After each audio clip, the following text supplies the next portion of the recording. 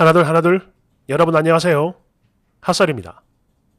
이번 시간에는 그러니까 자기 혼자만 나쁜 년이 되기 싫어가지고 세상에 있는 모든 아내들을 대상으로 물귀신 작전을 펼치고 있는 그런 쓴이 데리고 왔습니다. 그럼 봅시다. 제목 남편이 벌어주는 돈은 너무 좋은데 밥 차려주는 거 정말 싫어요. 완전 극혐이야. 근데 이거 나만 이런 거 아니고 솔직히 니들도 다 똑같잖아. 안 그래요? 원지 남편의 돈은 필요하지만 남편은 싫은 경우 이 세상 모든 아내분들에게 여쭤봅니다. 남편이 벌어오는 돈은 반드시 너무나 필요하지만 정작 남편은 싫은 경우 솔직히 다들 있으시죠? 솔직하게 말씀해 주세요. 이거 저 혼자만 이런 거 아니잖아요. 남편이 가끔 출장을 가면 그렇게 좋을 수가 없어요. 거의 매일매일이 칼퇴근인 사람이라서 늘 집에 와가지고 밥을 먹는데 저녁밥 차리는 게 너무 힘들어요. 물론 평소 화를 안 내는 사람이라 뭐 풀만 차려줘도 되지만 이게요. 그렇게 하면 말없이 라면을 끓여 먹는 인간이거든요. 마치 저한테 시위를 하듯이 눈치를 주는 게 너무 그지 같아. 이러다 보니까 어쩔 수 없이 늘 언제나 거하게 차리게 되는데요. 최소 닭볶음탕 정도는 식탁에 올려야 합니다. 이거 진짜 너무 싫어요. 고작 2단계 결혼 생활인가 싶고. 하지만 이런 와중에 이 인간이 벌어다주는 수입이 적지 않아서 이혼하기는 싫고 그래서 우리 애들 다 키운 뒤에 황혼 이혼을 꿈꾸고 있는데요. 만약 남편이 이런 제 속마음을 알면 기절하겠죠? 혹시 어린 자식들 때문에 억지로 사는 이게 막 양심 없고 기생충 같은 그런 건가요? 솔직히 모성이 하나만 있으면 내가 뭔들 못하겠나 싶지만 이렇게 살다가 막상 나중에 이혼을 하려고 하면 못하는 건 아닐까 어? 이런 걱정도 되고 아니 나 진짜요 남편 저녁밥 차려주는 거 이거 하나만 없어도 제 나름 그냥 잘 살 수 있을 것 같거든요 왜 밥 담당은 항상 늘 제가 해야만 되는 건지 나 진짜 밥하는 게 너무 싫어서 그냥 야간 알바를 구해볼까? 이런 생각도 불쑥불쑥 하는데요 혹시 이런 제 마음 웃기게 보일까요? 너무 심한 악플은 제 마음을 아프게 해요. 하지만 밥지옥이 여자들에게 있어 왜 멍해인지 이제 칠순을 바라보는 저희 시어머니도 그렇고 고모도 그렇고 이모들도 그렇고 저 나이까지 밥 때문에 고통받는 걸 보면 느끼는 게 만약 남편이 돈도 못 벌었다면 나 진작 버렸을 거예요. 뒤에 하나 더 있습니다. 댓글 1번 저기요 아줌마. 그래요. 힘들고 빡치는 건 알겠는데요. 아무리 그래도 말은 똑바로 하셔야죠. 이거는 님이 아니라 남편이 님을 버려야 하는 겁니다. 버리긴 뭘 버려요? 버림 당해야지. 2번. 에 그러니까 취집은 했는데 남편 밥 차려주는 거 싫고 벌어오는 돈은 꿀꺽하고 싶다. 이거네. 야 양심 어디 갔냐? 3번 저도 애 둘 키우는 엄마인데요. 님 정말 저급해 보입니다. 이거 이런 쓰니의 마음을 네 남편이 꼭 알았으면 좋겠어요. 야, 내 곁에 있는 배우자가 이런 생각을 하고 있다니 소름 돋겠다. 4번. 그런 논리라면 님이 밖에 나가서 남편만큼 돈을 벌어 오세요. 그 대신 남편대로 집에서 밥을 하라고 하면 되는 겁니다. 아니, 누구에게나 각자 역할이 있는 건데 본인이 맡은 걸 하기는 싫고 그러면서 상대방은 자기 역할 그대로 해줬으면 좋겠다니 미친 거예요? 이거는 부부 문제가 아니고 쓰니 인성 문제입니다. 썩었다고. 5번 남편이 너 같은 생각을 갖고 있으면 집에 돈을 안 주겠죠.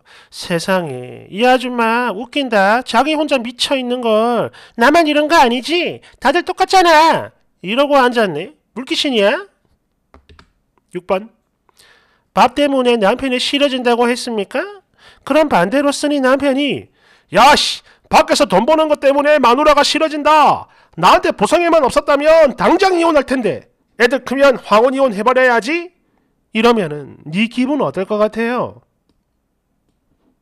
7번 뭐 기생충 그래요. 뭐 스스로의 위치는 잘 알고 있네. 어. 8번 지금 이거 나만 자기 남편 돈 잘 번다고 자랑하는 걸로 보이나? 두 번째 사연. 첫 번째 사연과 관계는 없습니다. 그냥 시간이 애매해서 하나 더 만들어 온 거예요. 원제. 남편 외도 후 시부모님을 어떻게 대해야 할까요? 결혼한 지 1년 반 정도 된 신혼부부입니다. 얘기가 조금 길어지겠지만 그래도 꼭 보시고 조언 부탁드릴게요. 일단 저희 시아버지 매사가 비꼬는 성격이라 그게 누구든 간에 트집을 잡는 그런 사람입니다. 평생을 그렇게 살아왔다 그러고 그렇게 남이 아니고 그냥 내 부모다라고 생각을 해본다면 뭐 옛날 사람이니까 충분히 그럴 수 있겠다 여기서 지금까지 단 한 번도 말대꾸를 해본 적이 없어요. 위 내용의 자세한 예시들은 본문과 상관이 없어 지웠어요. 뭔가 그런 게 있었나 봅니다. 근데 지웠대요. 음. 그랬는데 얼마 전에 저희 남편이 상매매를 하다가 저한테 걸렸어요. 여기저기 없어도 많이 드나들었고 어플 같은 걸로 여자 돈 주고 만나고 등등등 이런 거요. 그 이후 제 결혼 생활은 완전히 엉망이 돼버렸고 하루하루 전쟁 같은 나날이 이어졌습니다. 당연히 이 엄청난 사실들 시댁에 다 알렸는데요. 저희 부부와 다 같이 대면했던 그날 시부가 저한테 이런 말을 했습니다. 예, 물론 우리 아들이 잘못을 한 건 맞지만 요즘 엘리트들이 돈은 잘 벌지만 자꾸 그 뭐야 자극적인 걸 찾다 보니까 때로는 이렇게 잘못된 선택을 하기도 한다. 이러더라고요. 그러니까 당신 아들이 엘리트라서 그런 짓을 했다. 이건데 도대체 이게 뭔 소린가 싶고 아니 그냥 우리 아들이 엘리트니까 네가 참아라. 이거잖아요. 그래서 결국 저한테는 가슴 깊은 트라우마로 남게 됐습니다. 그리고 처음엔 남편한테 이혼하자고 했어요. 근데 이게요. 막상 하려고 하니까 말처럼 쉽지가 않더라고요. 여러 가지 복잡한 이유로 말이죠. 그래서 결국 집이랑 차 명의를 저한테 돌리기로 하고 앞으로 한 번만 더 이런 일이 있으면 거기서 바로 이혼이라는 약속과 맹세를 받았습니다. 또 원래는 제가 아이를 더 원했었는데 이젠 다 싫어지더라고요. 그래서 평생 안 나올 거라 말하고 그냥 그렇게 살고 있거든요. 근데요. 이런 남편을 떠나서 이 상황 자체를 겪고 보니까 시댁이라는 곳이 너무 꼴보기 싫은 거예요. 물론 이번 사태에 대해 당신들 잘못은 없다지만 그 이후 저한테 보였던 그 말도 태도도 그렇고 너무너무 싫어가지고 이제는 기본적인 안부 전화조차도 안 하고 있습니다. 물론 많이 중요한 가족 행사가 있으면 찾아가긴 하지만 그거 말고 아무것도 안 하는 중인데요. 그냥 쭉 이렇게 남처럼 대해도 되는 걸까요? 아니면 남편과 같이 살기로 한 이상 아, 안부 전화 정도는 예전처럼 꾸준히 드리고 어른 대접을 해드리는 게 맞는 걸까요? 긴 글 읽어주셔서 감사합니다. 앞에는 양아치고 이거는 지팔 직권이고 댓글 1번 야 땀에 별 걱정을 다 하시네 어차피 너는 남편이랑 오래 못 가요 시간이 지나면 지날수록 더 분명해질 겁니다 아, 이건 절대 용서가 안 되는 일이었구나. 이 남자랑 같이 있을수록 나만 더 미쳐가는구나. 이렇게요. 그리고 헤어지는 순간 엄청난 후련함을 느끼게 될 겁니다. 그러니까 닥치고 그냥 돈이나 잔뜩 챙겨 놓으라 이거예요. 2번. 아니, 자기 자식이 잘못한 걸 알면서도 두둔한 죄가 있는데 쓴이는 시부모 대접을 해야 하니 말아야 하니 이딴 걱정하고 있는 겁니까 지금? 정신 좀 차려요. 쓴이는 피해자입니다. 피해자. 누굴 걱정하는 거야? 3번. 아니, 애도 없다면서 도대체 왜 그러고 살아요?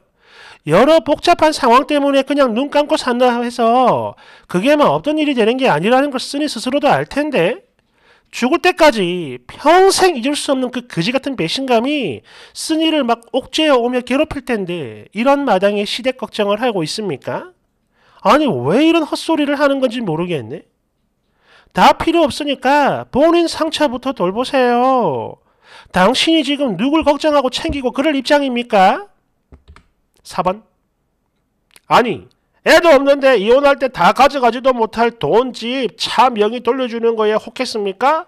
원래 시간은 남편 편이니까 어떤 개소리를 하든 간에 그냥 그런가 보다 하겠지만 평소에도 며느리만 잡아대던 시부한테 며느리 도리를 하니마니 이거야 지금? 어?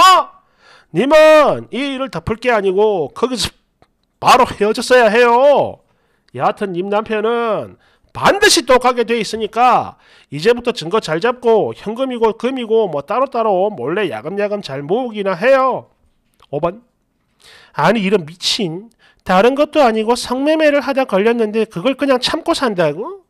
여자 망신은 네가 다 시키고 있구나. 6번. 님이 말하는 그 여러 복잡한 상황이라는 게 결국 뭡니까? 돈 벌기 싫다 이거 아닌가요? 여하튼 남은 50년 인생을 지옥에서 살기로 결심했다면 그러면 뭐 어쩔 수 없는 거죠. 남자야 뭐 앞으로 절대 안 들키게 더더욱 치밀해질 거고 님이 할 거라고는 상평 안 걸리게 조심이나 해요. 7번 여러 가지 이유는 개뿔 그냥 돈 때문이지. 깔깔깔깔. 8번 여러 가지 이유는 핑계고 그냥 쓰니가 아직 저 자식을 사랑하고 있는 거야. 집, 차 명의로 목줄 채워가지고 억지로 붙든다 한들 과연 그게 행복할까요? 남편은 딴 여자랑 자고 싶어가지고 알이 맨날 근질근질 할 거고 또 쓰니는 매일 그런 남편을 보면서 의심하고 속이 완전히 다 썩어 문드러질 텐데 이게 행복이냐고 내 장담하는데 니들 절대 오래 못 간다. 9번 아무리 명의를 돌려도 합의 이혼 말고 소송으로 가잖아요. 그럼 결국 분할 대상이 되기 때문에 쓰니가 많이 못 가져가요. 시간 또 지나면 그 유책 사유도 별로 작용이 안 될 겁니다. 이것도 포함이 되는지는 모르겠는데 불륜이나 그런 걸 하고 6개월 동안 안 걸면 그게 뭐 잘 안 된다 이런 말이 있더라고요. 음. 그리고 자기 아들이 엘리트라서 자극적인 걸 찾는 거다. 이딴 개소리를 하는 인간이랑 말을 섞고 싶습니까? 지 아들 잘못이 없고 그걸 이해 못하는 네 잘못이다. 이렇게 말하는 거랑 똑같은 건데 정말 그래? 10번 남편 성매매 한 것도 모자라 시부가 미친 개소리까지 해대고 있는데 이걸 참고 사네? 뭐? 여러 가지 이유가 있어가지고 이혼을 못한다고? 아니 어린 새끼라도 옆에 있으면 또 모를까? 어처구니가 없네. 넌 그냥 남미새일 뿐이야. 여러 가지 이유는 개뿔.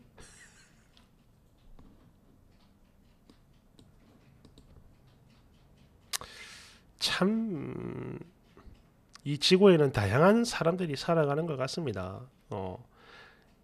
아니 두 번째는 뭐 남미세든 뭐든 어쨌든 그 잘못을 한 게 남편이니까 어, 남편 요구를 해야겠죠. 어쨌든 간에 뭐 좀 쓰니가 답답하긴 해도 그런데 첫 번째 이거는 뭡니까?